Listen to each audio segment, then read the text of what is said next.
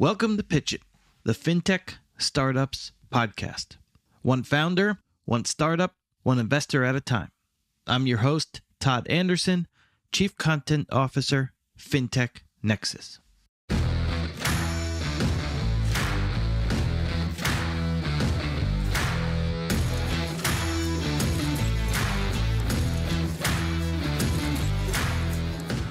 In episode 61, I talk with Stephanie Sample, founder and CEO of Fundid. Fundid is driven by a mission to empower business owners on their growth journeys by simplifying business finance and access to capital. You know, and I have to say, this might be my favorite episode thus far. Stephanie was incredibly candid, incredibly engaging, and she is as passionate a founder as I've come across in doing these episodes. The smallest of the small businesses have obviously never been served by banks, and as Stephanie points out in the episode, they really haven't been served by fintechs either. Most of these companies have fewer than 10 employees, and many have either one, two, or three. Stephanie and I talked about some of the main barriers these small business owners face when looking to raise capital, why it's a myth that you cannot serve these companies, how her marketing background played a crucial role raising capital, and much, much more. Without further ado, I present Stephanie Sample, founder and CEO of Fundid. I hope you enjoy the episode. Welcome to the podcast, Stephanie. How are you? I'm good. How are you? I'm good. So, you know, I like to start the episode just with some background. So, if you can tell uh, me and tell the audience a little bit about yourself and um, you know, a little bit about your career before starting Fundid. Awesome. Yeah, sure. So, Stephanie Sample, I am in Missoula, Montana, um, pretty much the place all great fintechs are born. Um, the list is so long that I might be the only one on it, um, but it's a great place to to be. And I've been here since college, where um, when I graduated, I immediately became a small business owner. So my background's always been in business ownership since college. I've been super fortunate to be an entrepreneur. Um, it, it really is like the result of being in Montana. Like when, when you graduate from college in Montana in 08 of all times, um, entrepreneurship seemed a lot more appealing than the non-jobs that existed. So I didn't yep. know that this was my path, but this is kind of where I ended up and where I've always been. I, have to ask what brought you to go to Montana in the first place for school? And obviously, something was great enough there to, to keep you in Montana. And obviously, you still live there today. Yeah, actually, so um, I, I, like to call this out to all the San Franciscans that live in Montana now. Um, I am actually a Montana native, um, also in Salt Lake too, but we are like an original Montana ranch family. Um, wow. Whole history of it. And so when I ended up at University of Montana in Missoula for college, um, I didn't actually know if I was going to stay or not. Um, but ended up uh, being kind of in business ownership and locked into Montana before I even graduated from college. So the whole business ownership path is what kept me here. And um, I feel pretty lucky about that. It's a really awesome place to be. Had you ever thought of, you know, obviously you you you mentioned you left um you finished school 08 um you know you started a, a business before that had you ever thought i'm going to be an entrepreneur this is something i potentially want to do or is it like you said, it just kind of fell into place because there wasn't a lot of other jobs and it was kind of a bad economic time. Yeah. I mean, honestly, I was like a very normal college student, maybe not normal in the like fintech world. They seem to all go to like really nice schools and we're super smart. I was like more just having good time and having fun and figuring it out. I mean, I worked hard. I was the first person in my family to go and graduate from college. So I took it seriously. But honestly, like I was just pretty proud of myself for going to college at all and thought I would figure it out. Um, I actually thought that I would get a job in international business. I had gone to school in China. I was a Chinese minor. I really wanted to go back. Um, and then 08 happened.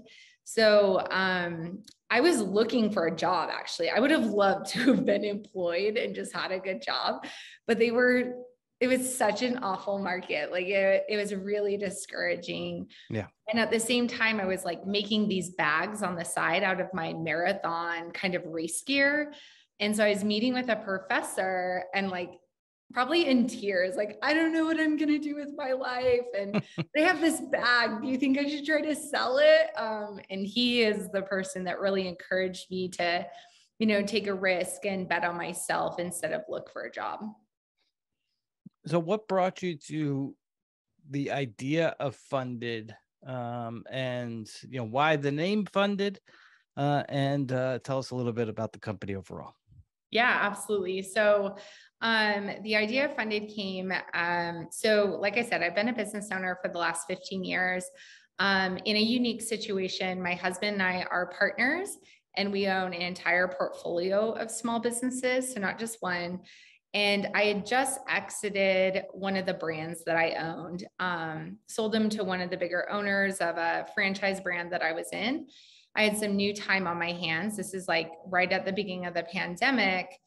And I also kind of had a chip on my shoulder about women entrepreneurship.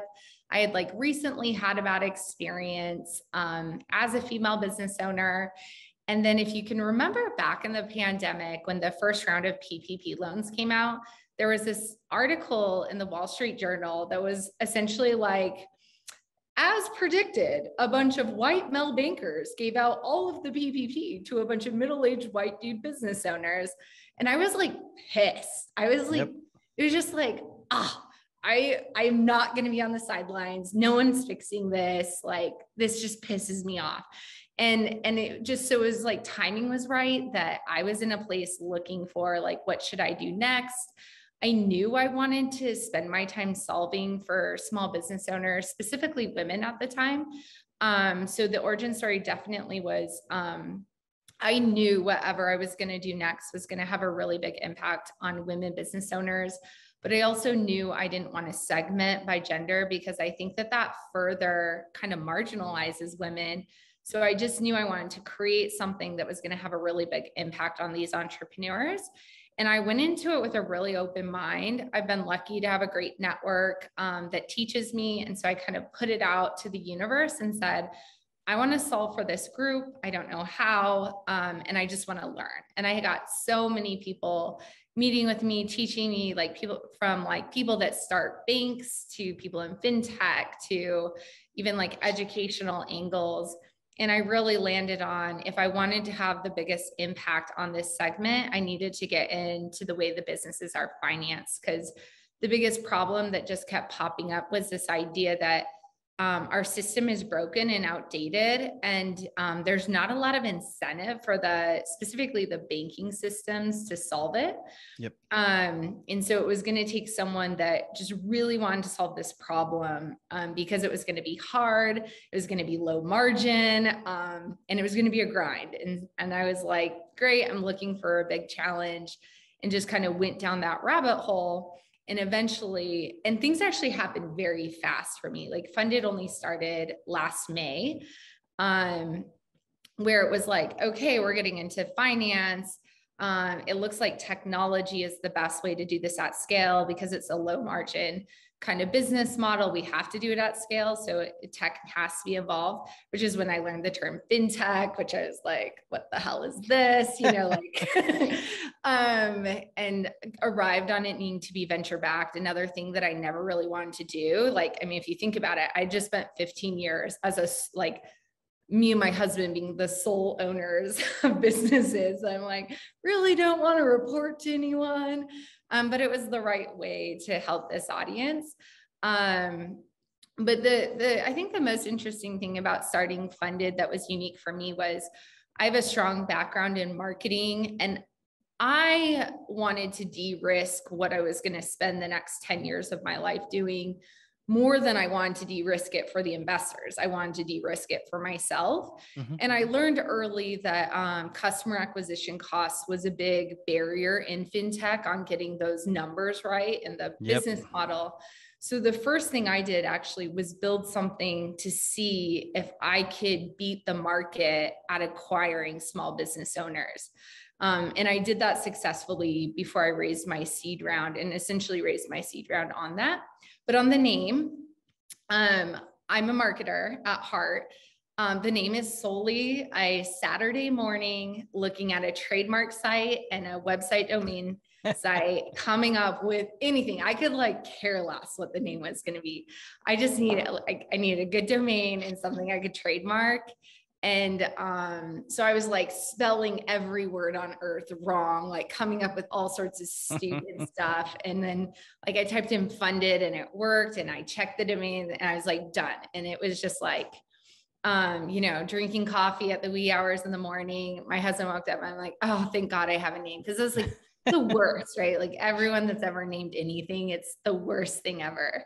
The strangest story I've heard is uh, a company uh, took out a Latin dictionary and started going through a Latin dictionary, and they ended up with a name. I forget exactly the the name. I'd have to look back in my notes, but um, yeah, naming companies is not easy. No, it's awful. So I'm just so glad. It's like never again. Thank God we're done. Yeah, I mean, back to your PPP point, we wouldn't uh, be around without PPP. And I remember the first round was excruciating um, to get that done. We got it, uh, and we actually got the second round as well. But um, yeah, there was a whole host of of issues with that program, yeah, and it's still working its way through Congress. Oh my um, gosh. Yeah. It's still, it's still a little scary for business owners. Like, yeah, there's so many unknowns. It was like we had, so we had to apply for multiple businesses in our portfolio. Um, yeah, yeah. And honestly, we ended would, up FinTech with, did well with it once yeah. they got to their hands on it. Yeah, I think without FinTech, it, it would have been brutal because the banks, you know, what do what the banks usually do, which is they come back inside. They kept to their own customers. They didn't serve anyone outside their network, even though Congress said, you know, we need this money out fast to as many businesses as possible. And without the likes of, you know, fintech and maybe some of the more fintech friendly banks who help actually fund the loans and, and originate them, then we wouldn't have gotten um, anywhere Great. near uh, the success that the the program was. Um, you know, you mentioned the the margins um, and uh, using technology to scale that. Obviously, banks have always said the smallest of the small are not economically feasible for them to serve, which is why they focus on the big corporates. Uh, but more recently, I thought it's interesting to, to bring up for this conversation was Brex, which made yes. its name on helping small businesses first said that now we're no longer helping the smallest of the small. We're going to help the companies that are a bit bigger in size because the margins on the smaller companies are not good enough. So, you know, what made it special to or or part of the mission to serve the smallest of the small companies and then kind of what's the response to the margin question when the likes of brex and and even the big banks kind of ignore or exit this market because of those small margins Right. Well, let me go ahead and pick a fight with Brex because that's what they need is some like nobody that nobody cares about calling them out for their bullshit, right? Um, Brex did not start solving small businesses. Brex was a VR company that could give a shit about small businesses, but wanted to make it as a VR company and Y Combinator, and their company wasn't working. And so they you know, started this card company saying, like, oh, we can't believe we can't get a card. Um, we have all this funding. Um, and then if you really look at Brex's history, they've always underwritten based on cash flow and like multiples of cash flow with a minimum cash flow requirement of $50,000 in your bank account, which every small business owner listening to this is laughing at right yeah. now, because that's not a thing. And then two years ago, they started doing venture debt. So the the argument that's out there right now that Brex um, less small business because it's not economical and stuff.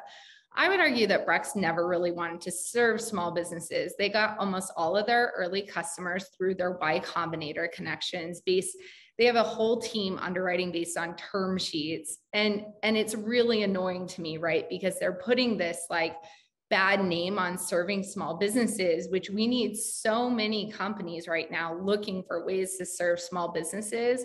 So the impact of their super dumb TechCrunch release is very annoying to me, as you can tell, um, because these businesses are totally servable. They're literally the backbone of our country. Yeah. They employ way more people than any tech company or big corporate does. And and um, they're they're like the hardworking people, right? Like we're talking about owner operators.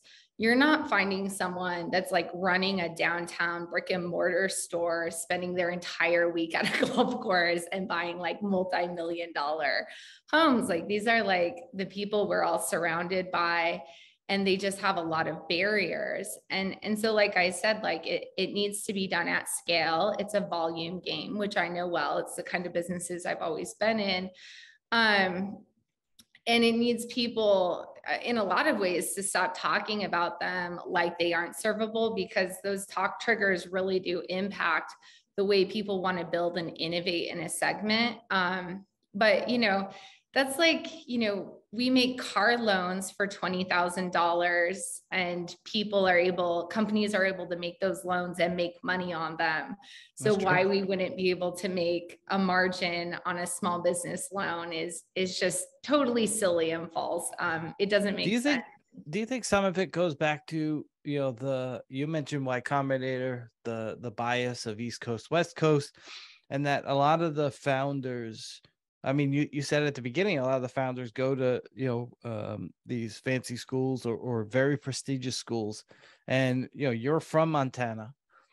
Other founders, if they were from the middle of the country or a small town, would probably have a better sense of, all right, this is exactly what a small business is.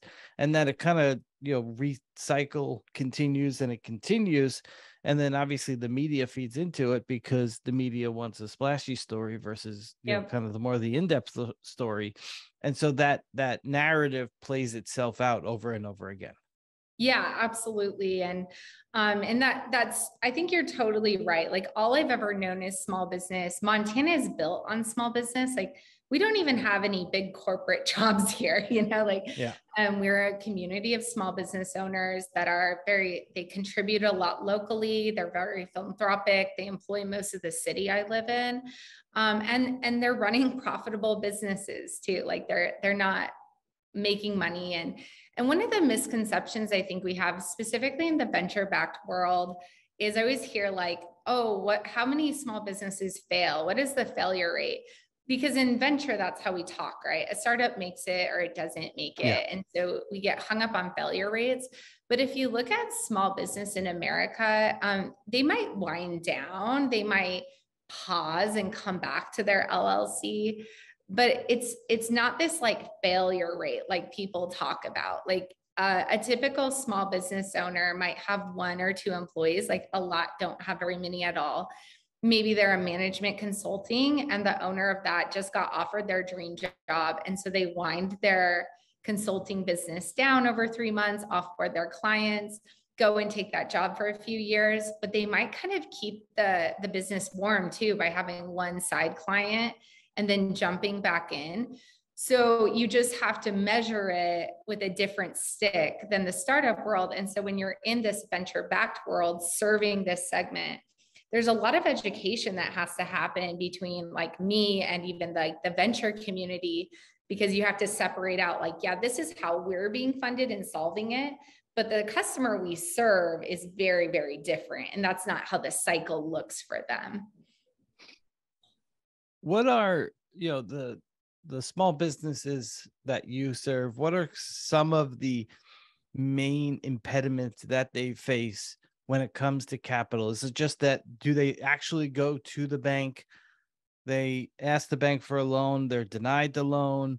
Are they aware of? I mean, you mentioned you came across fintech uh, recently and weren't aware of it. Are they aware of some technology fintechs that are beginning to serve the space? And then I know you guys have the grant uh, program how aware yeah. of they of grants and and so what sure. are some of the the funding issues and, and impediments that these companies face yeah i mean i mean there's so many um and and it's actually really interesting because like for example we do constant customer survey surveys and so we're always learning from our user base and one of the questions we asked was um, do you have a source of funding? And there were like five different answers um, anywhere from no and i don't know how to get funding no i've been declined yes i use a personal credit card yes i have a sba loan you know like all these options.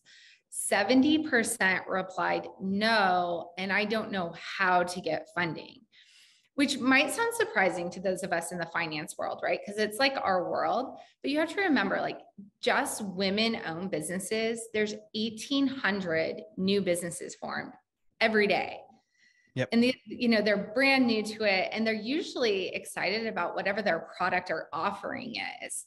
And so this idea that like we're just like born knowing financial solutions is kind of crazy. But then once they are aware, so I think there is a, a problem with awareness.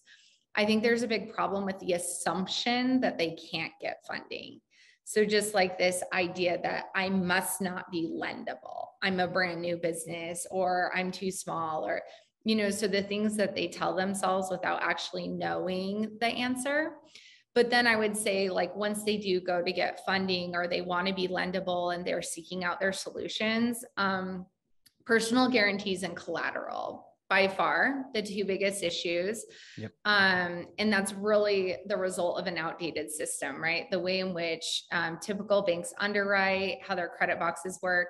Banks are very conservative, um, and for good reason, right? They the the multiples they have are actually very small. And so, if you think about the makeup of the United States, the makeup of the super small business owner, we're talking about a lot of people that don't have a home to leverage, right? Mm-hmm. They don't have the collateral and they don't have like the credit history to do the personal guarantee for that, too. And so even if you think about like the SBA loans out there, which are awesome, like, you know, I've uh, actually, I haven't had an SBA loan. I think we've had an SBA loan, but it also, an SBA loan requires its borrow, borrow, borrowers, let me talk, um, to put up collateral, usually their home, almost always their home. Um, so think about like the the amount of people out there that don't have a home to leverage that can't get one of those loans. So for sure by far the biggest issue. Um, when it comes to grants, uh, that was, I, I told you at the beginning that I wanted to de risk the way in which I could attract um, this audience and also serve them. So I found that um, some businesses, most business owners don't know of grants and they don't really know how they work at the beginning but they really resort to them and start searching for them out of a frustration of not being able to get capital otherwise. So they go out searching for capital and trying to get a lending product. And then when they get declined or, or like read the qualifications and are like, I can't get this, they kind of go through this emotional journey where they like open their laptops and type in business grants as a solution but a lot of times they don't even want a business grant. They just want capital. They think they can't get any other capital. Yeah. And the reality is, is the grants out there, um, while we make them really easy to find and search for on our platform, they're limited. Like we work really hard to find all the grants out there. And I think we have a total of 280 posted right now.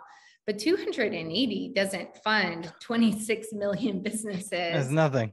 Right. Yeah. So, um, you know, they're out there. We try to make them really easy to search and find and to get information on. Um, oftentimes, it's part of just the natural journey of looking for Fundid that businesses learn about grants. What are, I mean, you know, you mentioned your background in marketing and and obviously you you have had some success reaching these businesses, but what are some other ways that that these companies can get better aware of the various funding sources? Because i you know what i usually do is I'll, I'll ask my wife who's not in finance like have you heard of this or have you heard of that? And most of the time her answer is no when it comes to fintech which gives me a sense for all right fintech's not nearly as big as i think it is even though i live it every day Uh, and so that gives me a sense of, you know, there's probably most people walking around that don't know what fintech is. And so, you know, it's still a pretty big leap to assume that businesses will just find it naturally. And so Right. are there ways that that fintech can do a better job at at putting themselves in front of it? Because obviously banks have been ignoring these companies for hundreds of years. Yeah. Um, well, yes. Um, and I think we're doing a really good job of that. um, we're really good at, at being found by these businesses. But the truth is, is there could be like 20 companies just like Fundid, making it easier to find it. And, and we could all be successful because there's a lot of need out there. Um, you know, this it's an interesting question though. And it's tricky because how I think about it is I think I've cracked the nut on how to find existing business owners in search of funding. But just like the problems in the venture world, let's say, it needs to be like at every stage that we Yeah. do better. Like we need to figure it out more earlier. We need better, more solutions. Like Fundid isn't the only thing that needs to exist in the market. We need um, we need better solutions for even earlier than what Fundid helps with. Um, We need we need financial services in the education system. probably, and, yeah. and it never has been um and i always found that to be an odd thing because once you leave college and say you you go your journey which was i need to you know i'm going to start a business um and you said 1800 people um or 1800 women start businesses every single day i think there's something like a half a million businesses started every year i mean that's a lot of people who probably have no idea Right. what potential options are out there. Yeah, especially like so many people um, do start businesses with this like, I don't need any capital. I'm in a like do it on my own, especially in the professional services segment. So, which is a really big part of the segment we serve. And professional services is probably one of the easiest business models to start without capital, right?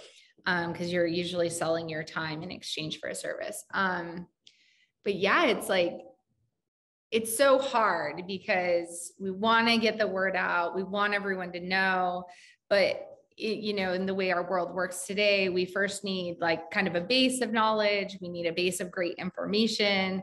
And we live in a world where there's so much horrible content out there that it's like you don't even mm-hmm. know if you should trust what you are reading or or you like go to your like grandpa that started a business and the way he mm-hmm. got funded is like so different than the options out there today and and i don't think as a financial system we're good about educating people when we say no or decline them. Like especially if you think it like so many business owners start at a local bank or now potentially a, a fintech neobank to Yep. set up a bank account.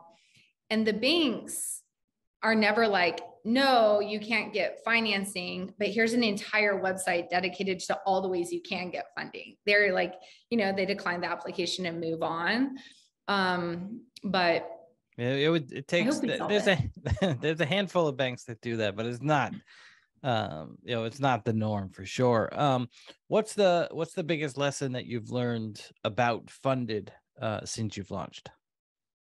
Oh, so many, so many lessons. Um, but I would say the biggest one is to trust my gut. Um, you know, there's this almost like intimidating factor to being in in the venture backed world where it makes me wonder like these last 12 to 15 years as a business owner like is it a different game i'm playing um do do i not know as much as i think i do and it turns out that I would actually argue small business owners know way more about what they're doing in building businesses than venture backed founders. Especially especially a lot of the the venture um you know the venture backed companies these days who've never lived through a difficult period like we're just Right. coming up on a potential recession right now. I mean they've had it really really good for the last 14 15 years.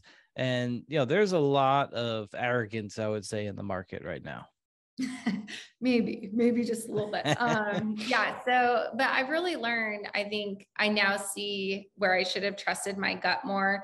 An example I have of that is, you know, we're, we're launching a card product, our business building card here in the next 30 days. And, um, there was a lot of pressure put on me to not go direct to market and use a BaaS player. Um, like i don't know i i felt like i really got a lot of advice that like maybe i didn't know enough to go direct or because i didn't come from tech or um, i'm not a developer um, that like i need to go through a BaaS player right in order to launch our product but I was surrounded by all these really smart people I was constantly learning from. And, and I did, I, so I, I started out partnered with Cross River Bank and TermSheet. And I actually jumped ship and went to a BaaS player and second guessed myself, even though I didn't feel like it was the right thing. I ended up, we are going direct. And, and that was a really good lesson because the entire time I felt like in my gut, I knew using a BaaS player wasn't the right solution for us, specifically because we're really trying to innovate um, in the way we're doing our underwriting and our credit box. Um, and um, and a BaaS player when you're doing a credit product isn't very flexible. So um, that was a hard lesson because I, I probably wasted three months um, of my time, of my investors' money um, when I went down that other rabbit hole. What would um what piece of advice did you receive um, since building your company from an investor, from a colleague? What was the best piece of advice that you've received thus far? Yeah, so um, I can't remember where I got this, but it is a big theme in my life. And, and a big part of why I did Fundid when I was thinking about all the things I might do next. And it's that you only have so much time.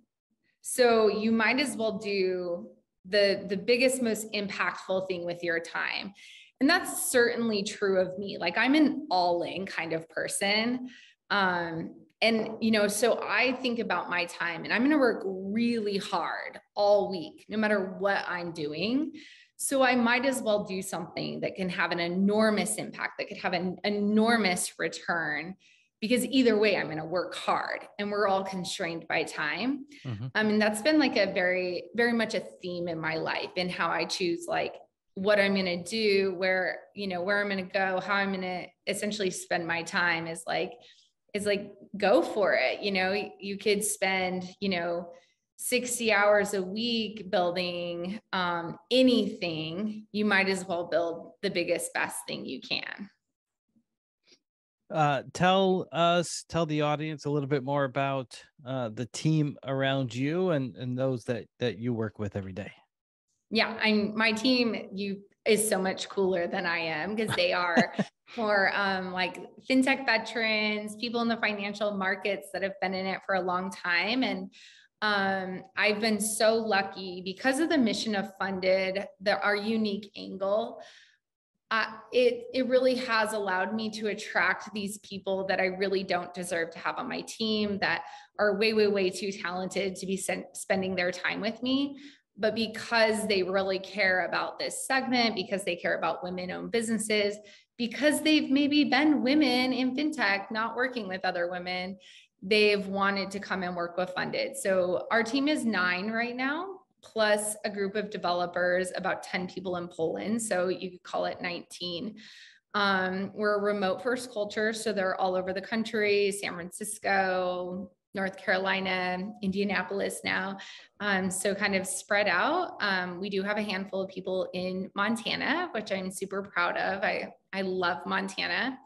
Um, and we are um, we are 90% women executive team, women team in general. Um, have nothing against guys. Like I feel kind of bad for our, our head of product right now. Every time I say this, I'm like, we really like guys though, we promise. It's just that this like mission has attracted that, which has been cool. Um, and I, I care deeply about a diverse team. So I would almost say I'm almost not proud that we're so heavily like female focused gender wise on our team, but um, the key thread, though, is that everyone on, on our team is so incredibly talented, so incredibly qualified to solve this problem. Um, and I mostly just feel lucky to hang out and learn from them um, and then go out and tell our story to make sure that they get to keep doing what they're doing.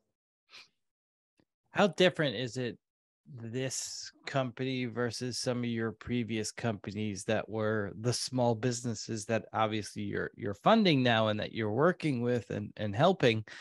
How different is that that dynamic and and the you know remote first versus i'm assuming most people were probably where you live and, and you work there and it was probably a shop in town or, or something along those lines.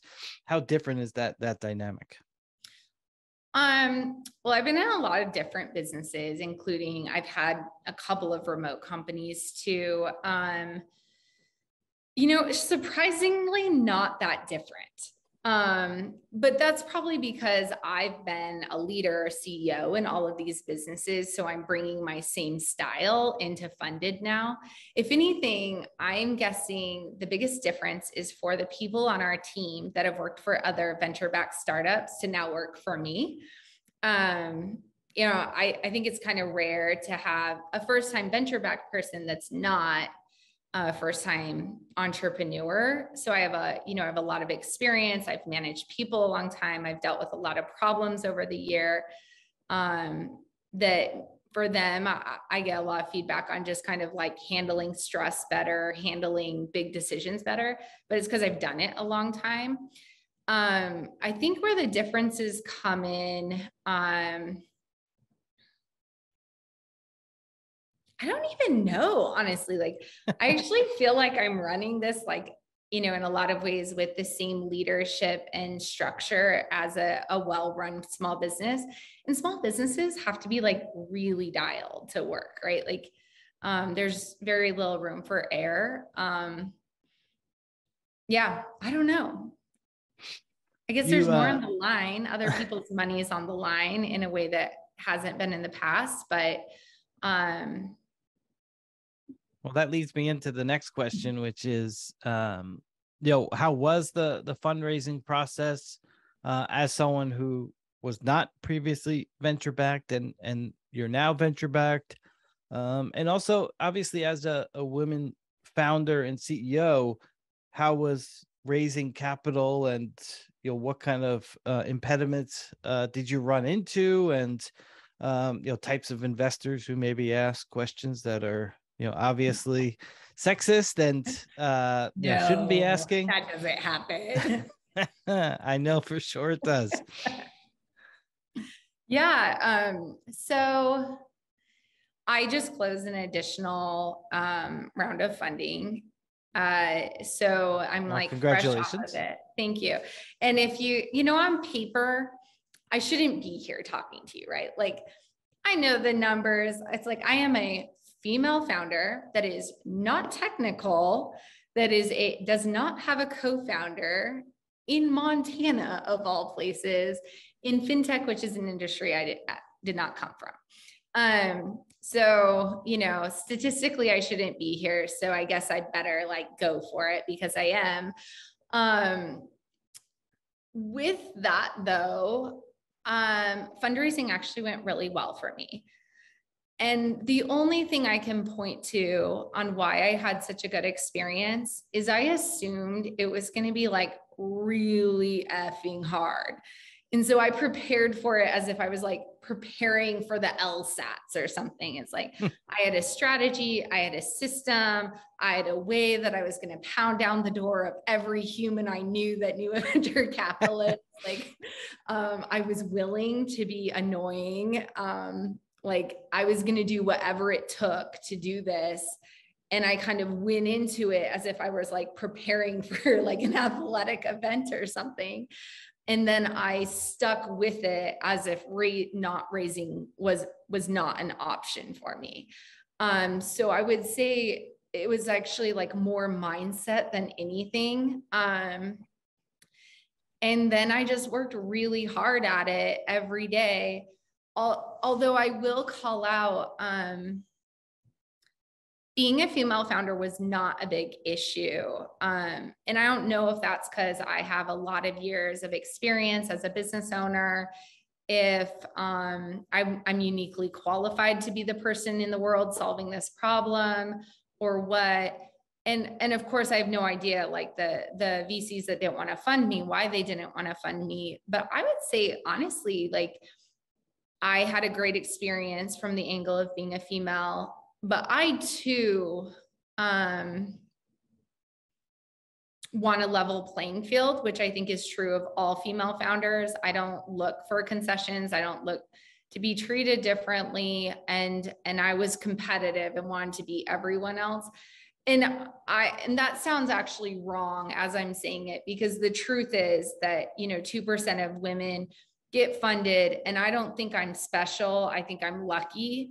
And I think that number is total crap. Like it shouldn't exist there's a massive problem in venture.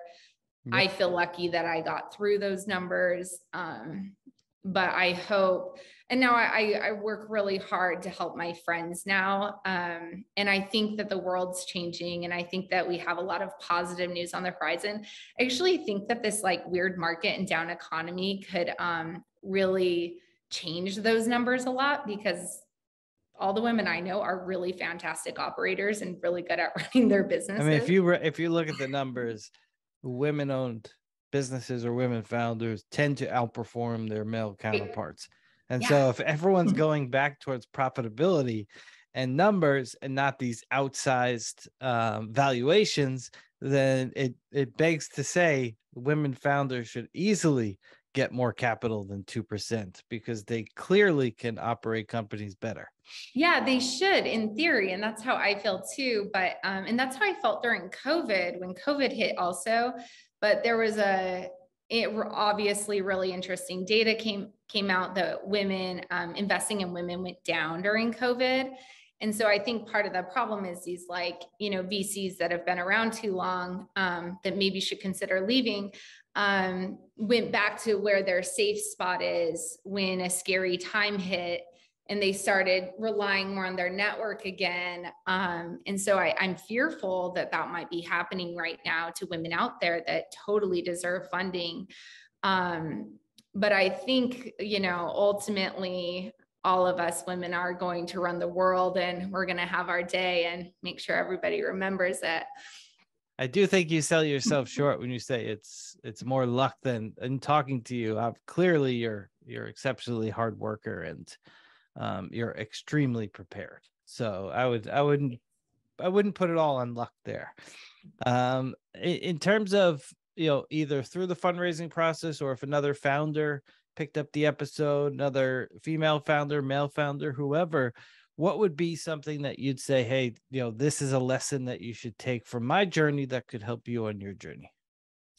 Yeah, I think um, playing your own game is something I really like to share and want a message I would like to sp- spread out there. There's so much pressure in this world to be like, oh my gosh, Jeff Bezos wakes up at 4:15, then he does, you know, like, and, and so I must be broken because I don't do that um, I'm such a big believer that everybody has their kind of own natural rhythm and flow and way of doing things.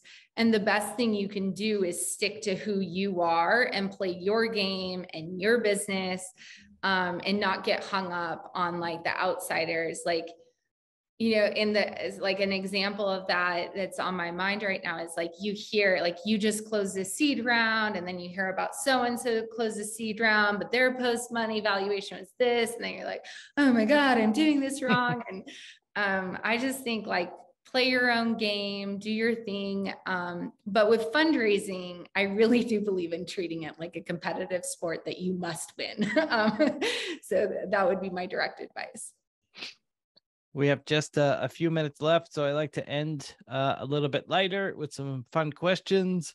Uh, do you have a favorite book and the last book that you read? Oh gosh, I don't. I don't like read books. I read email. Um, like I'm very good at reading email. Um, I, I read a lot of them. Um, but books, you know, I I did this is almost embarrassing because the movie just came out. Um, probably the last book I read was um, Where the Crawdads Sing. Um, I usually don't like business books. Um, I've been around really successful business owners for a long time. And I don't know, I just, I don't buy business books or read them. I tend to read things that help me check out of life and um, kind of relax and, and reprioritize, I suppose. Well, speaking of checking out, what is uh, your checkout activity? What do you do to unwind, especially in Montana? Is it enjoy yeah. nature? I'm assuming that's near the top of the list. Definitely. Um, I am for sure a trail runner and hiker. I love to spend time deep in the mountains alone. Um, there's just something very like freeing about that when you get when you're completely alone and you're seven miles in from a trailhead and um, I don't know, it's it's really relaxing. My thoughts get really clear when I'm out in the mountains. So uh, yeah, I like to be in the mountains. Uh, do you watch sports? Uh, have a favorite team? Have a favorite sport? I have lots of sports I don't like that usually revolve around what my husband has on the TV, like golf. um, so no, um, you know, I originally was born in Salt Lake, so I am like a true Utah Jazz fan. Um, I just think they're cool. I grew up in the Karl Malone, John Stockton days, and it stuck with me. In our house, um, we are very loyal Georgia Bulldog college football fans. My husband went to Georgia, and so I don't even like I don't even like get the SEC and all that stuff, but I go to the games and I put smile on and I try not to make fun of them when I'm at an Alabama game um, and be a good, uh, true cheerleader, yeah. but not really. Well, I'm a Notre Dame fan, so it's the SEC is a, oh. a sore spot here yes, I, I went to the Notre Dame Georgia game. It was awesome because I mean Georgia won, but yeah, um, Notre it was Dame, a good game. Though. Very cool too.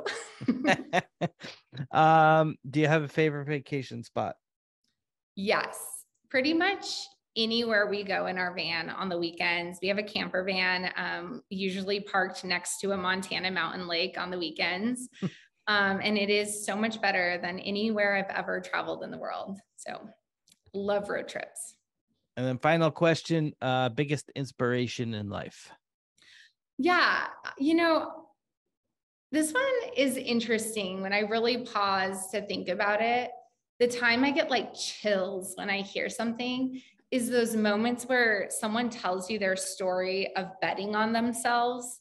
You know, like when they first started a business, but they had a really good job and they did it anyways. Like, I'm pretty inspired by those moments that entrepreneurs like take a leap um and though that that type of person in general is like my most inspiring person i i hope to be just like.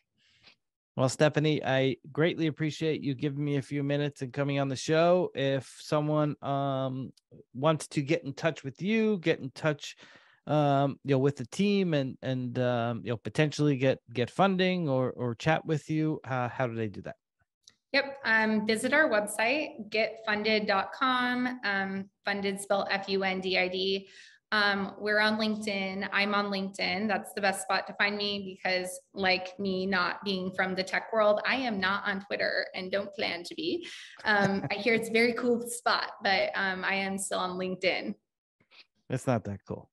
Um, well, thank you uh, again for uh, a few minutes. Continued success to you and the team, and hopefully we'll get you back sometime in the future.